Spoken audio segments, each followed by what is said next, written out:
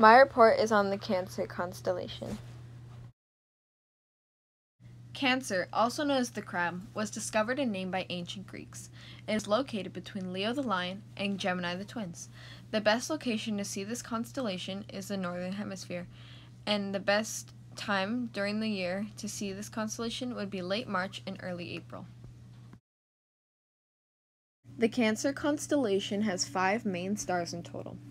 Iota Cancri, which is a white double star, Asellus Borealis, which is a blue subgiant, Asellus Australis, which is an orange giant, Acubens, which is a red double star, and Altarf, which is an orange K-type giant. My constellation story is about a little crab named Cancer. There once was a little crab, his name was Cancer. He was the bravest crab of them all. One day, the evil lobsters decided to attack the crabs.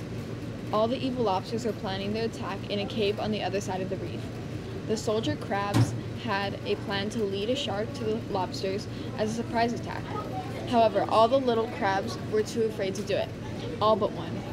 Cancer stepped forward and said, I'll do it. All the crabs were shocked and a bit relieved. They prepared Cancer for the attack and sent him out to the open reef, also known as the feeding grounds.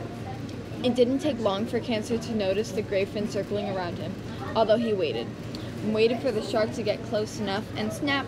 Cancer snapped his little claws together to get the shark's attention and he started running. The shark closing in behind him and turning. Cancer ran as fast as he could, twisting and turning through the reef to try to throw the shark off a bit to buy him some time. Just a little more, Cancer says, almost to the lobster's hideout. He did it!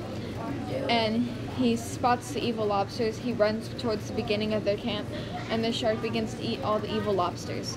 The smell of lobsters calls more sharks to the scene. Cancer knew that he couldn't have enough strength to run back to the crabs. Even if he could, he would bring the sharks to his home. He couldn't hide because to get home he'd have to cross through shark territory, which would also lead the sharks back home. So he sat there and waited till chomp! Little brave Cancer was dead. All the little crabs were sad more than happy. Yes, they were saved and the war was over, but they lost their best crab. Cancer was put into the stars to honor his brave deed. The end.